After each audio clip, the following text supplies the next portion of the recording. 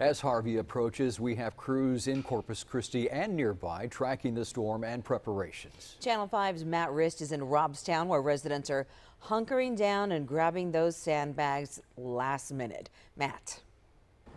The skies are clear right now in Robstown, but sandbags are so popular they actually ran out at this spot. Neighbors tell me that today is a chance to come together for last minute storm preparation with shovels, buckets, and bare hands. Neighbors in Robstown outside Corpus Christi help each other prepare for the storm. It's it's nice. It's good to, to see everybody everybody gathering around.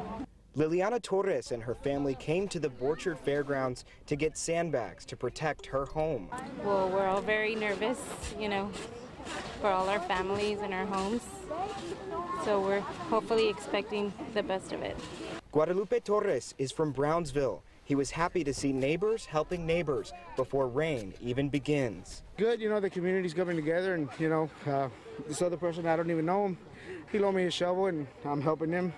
We're trying to help each other, you know, so that's what it's all about. Small comfort as a big storm looms outside Corpus Christi. This area is not under a mandatory evacuation, but some parts of Corpus Christi are. We will continue to track this developing story.